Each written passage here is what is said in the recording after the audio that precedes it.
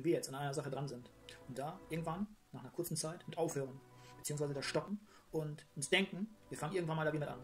Dann stoppen wir gleichzeitig unsere Weiterentwicklung und die Möglichkeiten, die dahinter stecken.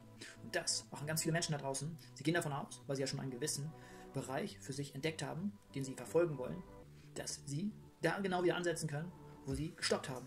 Und das ist ein Irrglaube.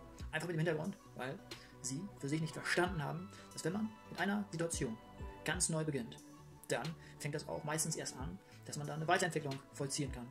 Und diese Weiterentwicklung, die ist nur möglich, wenn man da auch beharrlich bleibt und diesen Anschluss niemals außer Augen verliert.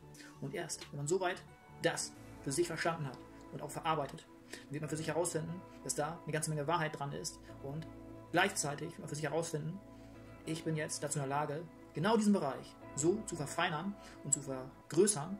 Voraussetzung ist dann natürlich, dass man auch daran arbeitet, um für sich herauszufinden, was möchte ich, wer will ich sein und was sehe ich da letztendlich für Möglichkeiten, wenn ich in diesem Bereich drinne bleibe, dabei bleibe und das Ganze so weiterspinne, dass es irgendwann mal auch die Ergebnisse bereitet, die man erwartet.